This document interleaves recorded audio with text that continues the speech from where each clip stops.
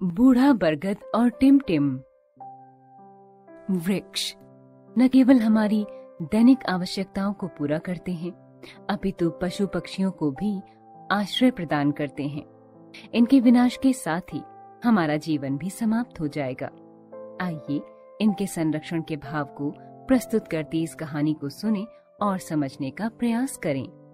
एक थी नन्ही टिम टिम टिम टिम सेठ गोपाल दास के बगीचे में लगे बूढ़े बरगद में बने कोटर में रहती थी। टिम टिम एक प्यारी सी गिलहरी थी। हमेशा उछलती कूदती रहती और झट से बूढ़े बरगद की सबसे ऊँची डाल पर जा बैठती थी। कोटर में से बूढ़ी गिलहरी माँ के अनेक बार पुकारने पर भी नीचे नहीं आती थी।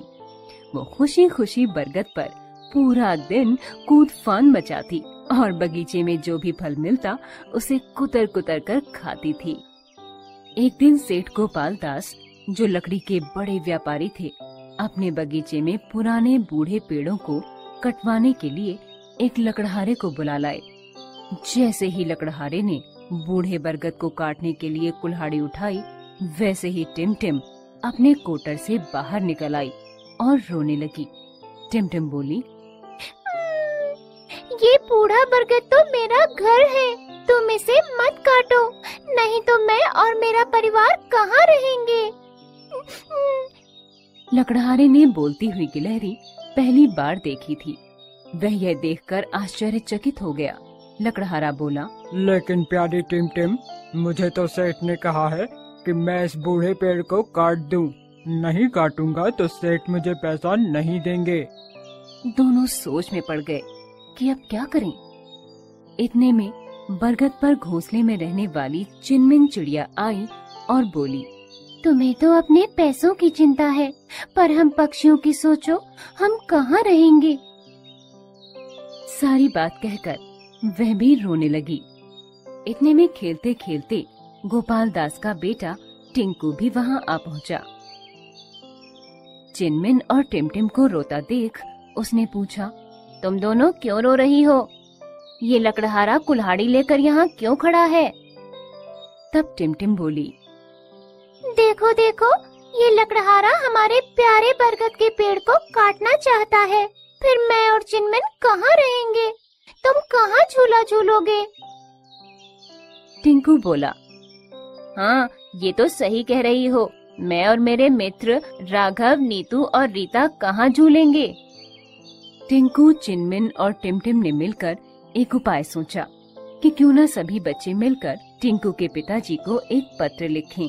सभी ने मिलकर गोपाल दास के नाम पत्र लिखा प्रिय गोपाल दास जी, मैं टिंकू आपका पुत्र और मेरे मित्र चिनमिन, चिड़िया, टिमटिम गिलहरी, राघव, रीता और नीतू हम सभी आपको बताना चाहते हैं कि प्यारे पेड़ हमारे लिए कितने लाभकारी हैं। हमें विद्यालय में बताया गया है कि पेड़ों के कारण ही वर्षा होती है। पेड़ों के कारण ही प्रकृति का संतुलन बना रहता है।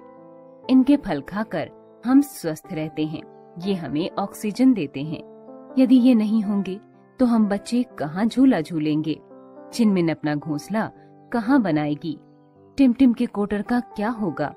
आपसे हम सभी की यह प्रार्थना है, कि आप बूढ़े बरगद को मत कटवाओ। आपका बहुत बहुत धन्यवाद, टिंकू और सभी मित्र। चिन्मिन ने कागज़ को मुँह में दबाया और फटाफट उड़कर टिंकू के पिताजी को दे आई। पिताजी ने बच्चों के इस कागज़ को पढ़ा और वे बच्चों के मन की बात को भाप गए। उन्होंने लकड़हारे को पेड़ काटने के लिए मना कर दिया। पिताजी ने सभी बच्चों से कहा, मुझे माफ़ कर दो, मुझसे गलती हो गई। अब मैं समझ गया हूँ कि पेड़ों के बिना हम सब अधूरे हैं।